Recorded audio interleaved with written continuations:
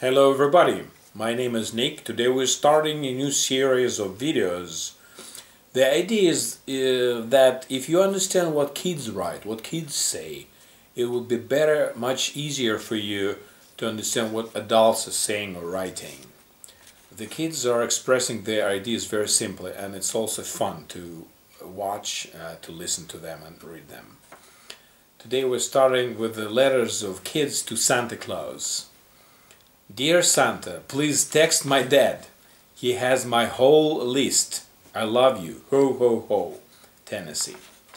So the kid is writing that didn't bother to write the whole list, just say call just call my dad. Okay, so next one is writing Dear Santa, how are your reindeer? If you cannot buy what I want, take it easy on yourself. Just give me money.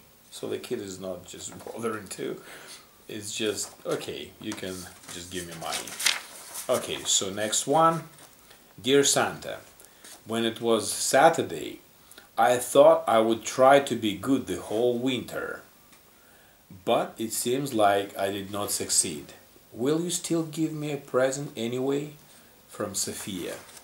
So sophia is worrying about if she get the present because she was not so good didn't succeed to be good Okay, I would like to hear your comments. How did you like this kid's writings?